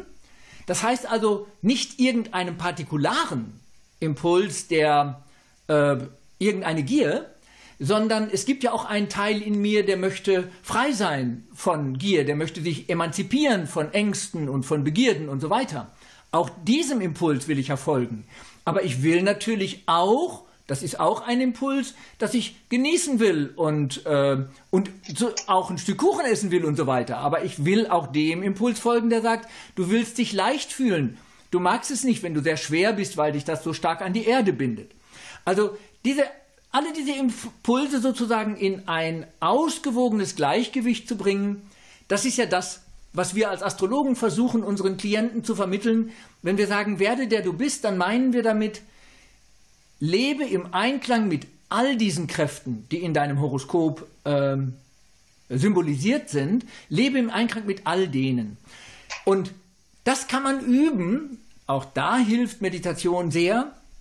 Man kann das üben, dass man in diesem Sinne in so einem Gleichgewicht ist, dass man ähm, ein, Gef also das ist wie so eine Art Balancieren. Also Balancieren aber nicht nur zweifach, also rechts und links, sondern es gibt viele also zehn Ebenen sozusagen, die zehn Dimensionen, in denen ich äh, äh, übertrieben oder untertrieben sein kann, sozusagen, die zehn von uns Astrologen benutzten Planetensymbole, die ja Motive verkörpern. Und da sozusagen ein Gleichgewicht herzustellen und mein Bild dafür ist, das, was man das Ich nennt oder das, was man meine Steuerungsinstanz in meinem Inneren nennt, das sollte im Schwerpunkt dieser ganzen Kräfte sein, sodass das im Gleichgewicht gehalten wird wie so ein Mobile, das ja auch im Gleichgewicht gehalten wird, wenn es im Schwerpunkt aufgehängt wird. Und das versuche ich sozusagen zu folgen und dem versuche ich zu folgen. Und das bedeutet, das meine ich damit, wenn ich sage, ich mache einfach, dass ich meinen Impulsen folge. Ich muss also nicht rational überlegen, was ist jetzt gut, was ist förderlich, sondern ich habe das Gefühl, dass es in meiner Psyche gibt es diese verschiedenen Instanzen, die diese verschiedenen Interessen sozusagen verkörpern. Und eigentlich muss ich nur dafür sorgen, dass ich in einem Zustand bin, der entspannt genug ist. Und dann fühle ich die resultierende und die fühle ich als Impuls. Impuls, diesen Weg zu gehen. Und es passiert mir in den letzten Jahren immer öfter, sehr oft, dass ich einem Weg folge und ich in dem Moment nicht genau verstehe, warum. Ich merke nur, ich sollte diesen Weg gehen. Und ähm, manchmal ist das so, dass das, ähm, also ich sage ein Beispiel, darauf werden wir noch kommen, diese für viele von als unglaublich schräg empfundene Aktion oder die Aktion damals, dass ich nackt durch die Stadt gelaufen bin. Das ist ja eigentlich für ein Ehrenvorsitzendes, äh, Ehren, Ehrenmitglied des DRV, was ich damals war, nicht mehr Vorsitzender, aber DRV-Mitglied, sozusagen jemand, der hatte einen Ruf zu verlieren und ich mache sowas. Also man kann ja nichts Verrückteres tun. Und es ist ja auch so, dass es tatsächlich meinem Ausbildungszentrum extrem geschadet hat. Also meinen wirtschaftlichen Interessen habe ich extrem damit geschadet. Und ich habe das damals getan, trotzdem. Und die Frage ist ja, darauf werden wir noch kommen, die Frage ist ja, wieso? Was also, war ich dort einfach verrückt, war ich äh, nicht mehr zurechnungsfähig? Und ich folgte einem Impuls. Ich, erst heute, 10, 15, 20, fast 20 Jahre später, erst heute verstehe ich vollständig, was ich damals tat. Damals wusste ich viele Dinge. Ich wusste meine politische Motivation, ich wusste meinen tiefen Affekt gegen die Verklemmtheit der katholischen Kirche, worüber wir in meiner Biografie noch ein bisschen reden werden diesen tiefen Affekt, dem ich damit auch Ausdruck gab, ihr verklemmtes Pack, äh, wie ihr mit dem Körperlichkeit umgeht, das ist bescheuert und krank und so weiter. Ich wusste um meine, dieses Revolu Revolutertum, was in mir ist und so weiter. Ich wusste aber auch um den Genuss, den das bedeutet. Ähm, aber ich, ich wusste damals immer schon, da gibt es noch was. Ich spüre, da gibt es noch etwas und das kann ich noch nicht, also ich kann das nicht identifizieren. Das brauchte relativ lang, bis ich das identifizieren konnte. Aber ich spürte es. Ich spürte, es ist richtig, dass ich das jetzt tue, obwohl es mich wirtschaftlich also an den Rand des Ruins irgendwie brachte, in der Folge, was dann daraus an anderen äh, äh, bürgerrechtlichen Aktivitäten ja noch entstand. Und ich würde sagen, heute würde ich sagen, es war für, für meine spirituelle Entwicklung eine sehr bedeutsame Entscheidung. Ich weiß heute, wie wichtig das war, was ich, äh, was ich damals gemacht habe und kann das in einen Kontext einbauen. Also, was ich versuche, ist, dem zu vertrauen, was ich spüre. Und ich erinnere mich an, also an ein Gespräch mit einem meiner aktuellen Klienten, ein junger Mann, der, äh, der von mir gecoacht wird. Und ähm, der sagte ja, wie, also, wie machen Sie das denn? Also, wie unterscheiden Sie denn, ob etwas einfach eine Gier ist oder ob das das Richtige ist? Also, also wie unterscheiden Sie das denn, dass Sie einer Gier folgen oder dass Sie dass sie sozusagen dem, dem, dieser resultierenden Kraft folgen. Ich kann das nicht unterscheiden. Ich spüre einfach, ich will irgendwas. Also damals bei diesem Nacktlaufen, das hätte doch auch sein können, dass das halt einfach eine Gier ist. Wie haben Sie das denn unterschieden? Und ich habe ihm da gesagt, ja, ich verstehe das sehr gut. Ich verstehe sehr gut dieses Problem. Ähm, heute würde ich sagen, wenn man, habe ich ihm gesagt, wenn, wenn man lange genug übt, dann kann man diese beiden Gefühle unterscheiden. Also man kann unterscheiden, was Gier ist und was, wie soll ich mal sagen, das Gefühl für den richtigen Weg ist. Das kann man gefühlsmäßig unterscheiden. Aber am Anfang ist das schwierig. Und ähm, ich habe auch lange gesucht, habe ich, hab ich ihm gesagt, ich habe lange auch für mich gesucht. Gibt es irgendwie etwas, ähm, gibt es so eine Art Messinstrument? Gibt es irgendwie was, gibt es irgendwie einen Indikator? Also religiöse Menschen würden sagen, äh, Gott, gib mir ein Zeichen. Also lass jetzt diesen Busch da brennen oder irgendwie was, gib mir ein Zeichen. Also, und ich habe mir auch überlegt, gibt es irgendwie was, was man wo ich sagen könnte, okay, das ist vielleicht ein Indikator, der das unterscheidet. Und mir war klar, wenn es einen solchen Indikator gibt, dann kann das nicht sein, was auf, was auf ähm, Überlegungen basiert, auf rationalem Überlegen. Das muss irgendetwas sein, wie zum Beispiel ein Traum. Also etwas, was das Unbewusste produziert, etwas, was ähm, aus den Tiefen meiner Seele kommt. Und ähm, es muss also etwas Unwillkürliches sein. Und ich habe ihm gesagt, das, das ist jetzt sehr persönlich, aber es ist egal. Ich habe mich entschieden, in diesem Interview sehr persönlich zu sein. Ich habe ihm gesagt, ich habe ausprobiert etwas, was, ich habe mich gefragt, was gibt es, was unwillkürlich ist und du als Reaktion nicht, im, nicht unter Kontrolle hast. Und dann fiel mir als Sexualtherapeut natürlich eine Erektion. Eine Erektion kann ich nicht, ich kann nicht sagen, ich will jetzt erigieren. Das geht nicht. Das ist etwas, das ist äh, unwillkürlich. Und dann habe ich gedacht, eine Erektion könnte als Signalgeber gelten. Also eventuell wäre das ja möglich, dass man prüft, ob es eine, wenn man einen Gedanken, äh, wenn man sich etwas vorstellt, vielleicht geht das ja, dass eine Erektion einem zeigt, das ist der richtige Weg. Das wäre was ganz, ganz Unwillkürliches und sehr unverdächtig, weil das kann ich nicht bewusst steuern. So, habe ich gute Erfahrungen mitgemacht, brauche ich jetzt nicht mehr. Aber am Anfang war das tatsächlich etwas, was ein Stück weit geholfen hat. Das heißt, ich habe eine unwillkürliche körperliche Reaktion genommen, man könnte auch andere nehmen, und habe die als Signal äh, genommen. Und mein Klient experimentiert damit und hat auch ganz gute Erfahrungen. Also es geht darum, ein, mit der Zeit ist es dann so, dass man das einfach spürt. Das ist jetzt, also man spürt sozusagen, hier ist jetzt äh, Begierde im Spiel. Man merkt das an, man merkt das daran, dass äh, man klebt, zum Beispiel, an etwas klebt. Äh, man merkt es daran, dass wenn man, man hat ein Ziel und wenn es nicht gelingt, dann ist man verärgert.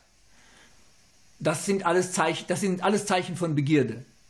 Wenn ich mich auf dem richtigen Weg begebe, dann ist es immer so, dass ich gehe diesen Weg und ich begegne irgendetwas und dem, was ich begegne, damit interagiere ich, damit, äh, damit arbeite ich sozusagen, aber ich habe keine Präferenz, wem ich, was ich begegne, sondern ich nehme das an, was da ist. Und wenn ich merke, ich entwickle aber Präferenzen, ich will das, und ich will das aber nicht, dann bin ich nicht im Flow. Dann bin ich nicht sozusagen im Einklang mit dieser Kraft.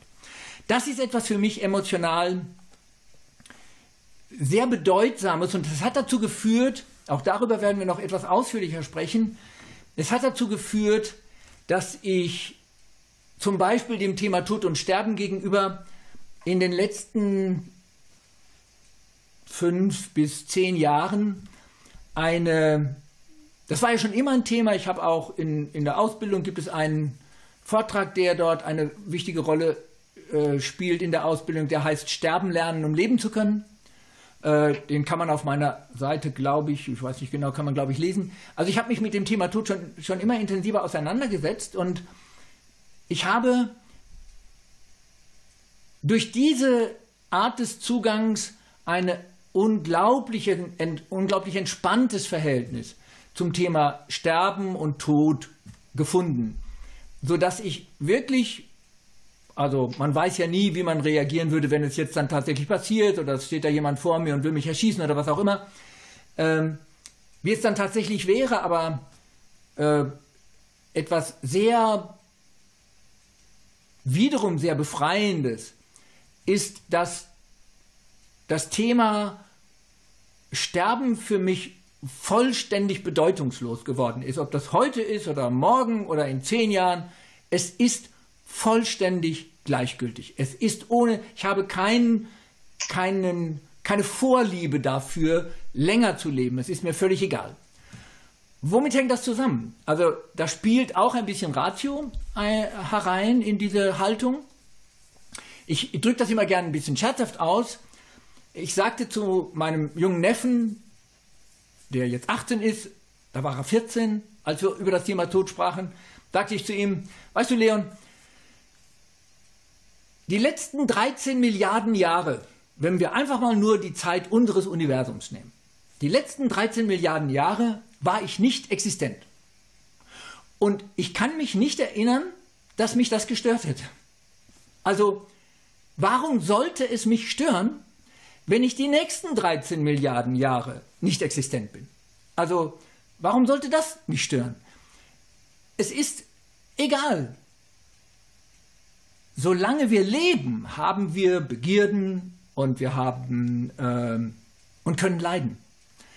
Leid ist gebunden daran, dass wir leben. Aber wenn wir einfach nicht existent sind, dann gibt es auch kein Leid. Also der Zustand des Nicht-Existenzseins zu fürchten, ist eigentlich unverständlich. Eigentlich ist es unverständlich. Ich weiß zwar, dass wir den fürchten, weil wir so gebaut sind. Denn wenn wir den nicht fürchten würden, weiß ich gar nicht, ob es die Gattung Mensch überhaupt noch geben würde.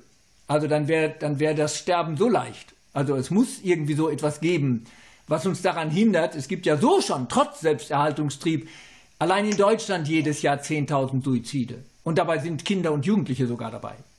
Das heißt also, es muss eine Kraft geben, die uns ähm, daran hindert, es gar zu leicht zu tun. Aber eigentlich besteht keinerlei Grund, äh, das zu fürchten. Also für mich überhaupt kein Grund. Und ich weiß noch, wie der Leon dachte, ja, aber das ist ja schrecklich, gar nicht mehr existent zu sein. Also das kann ich mir gar nicht vorstellen, dann bin ich ja gar nicht mehr da. Dann sage ich, ja, ja, solange du da bist, mag dich der Gedanke ja stören. Aber wenn du nicht mehr da bist, ist da kein Subjekt mehr, den das stören könnte, dass er nicht mehr da ist. Das heißt, das löst sich in Luft auf. Da ist kein Ich mehr, das dann leidet, dass es nicht existent ist. Wenn es nicht existent ist, dann kann es auch nicht leiden darüber, dass es nicht existent ist. Das ist so wie einschlafen und du bist dann einfach nicht mehr da. Du wachst halt einfach nicht wieder auf. Das ist sozusagen so der rationale, die rationale Metapher für dieses Gefühl. Und ich glaube, die ist etwas ganz Entscheidendes für meine emotionale gegenwärtige Situation, dass das Todsein für mich sowieso bedeutungslos ist, aber auch das Sterben, das Einzige, was mir Angst machen würde, wäre zu krepieren, also wäre unter also gefoltert werden und Schreckliches erleiden müssen, bevor man stirbt. Also ich sage ja, leiden tut man, solange man lebt und bis man tot ist, diese Strecke, die kann sehr leidvoll sein. Also Leben kann mir Angst machen. Das Leben, wenn es entsetzlich wird durch irgendeine Krankheit oder durch irgendeine Verletzung oder durch irgendeinen Kriminellen, der irgendwas Schreckliches mit mir macht, das kann sehr, das kann sehr schrecklich sein, aber das hat eigentlich nichts mit dem Sterben zu tun. Das ist auch schrecklich, wenn ich gar nicht anschließend tot bin. Also es gibt ja viele Menschen, die werden erschossen und überleben das. Ähm, also das hat nichts damit zu tun zu sterben, sondern das hat was damit zu tun zu leiden. Das kann mir Angst machen. Ich bin nicht frei von der Angst vor Schmerz. Aber ich bin ganz sicher frei von der Angst zu sterben. Also das ist im Gegenteil etwas zutiefst zutiefst Beruhigendes. Wenn es die Hölle gibt, wenn es die Hölle geben sollte, dann heißt sie ewiges Leben. Nicht sterben können. Das ist die Inkarnation der Hölle für mich. Das soll das Abschlusswort zu meiner emotionalen Situation sein. Das würde dann bedeuten, dass wir ähm, eventuell die Themen Thanatologie und Nahtoderfahrung Reinkarnation eher nicht weiter vertiefen brauchen, weil es nicht zu deinem Weltbild gehört. Genau.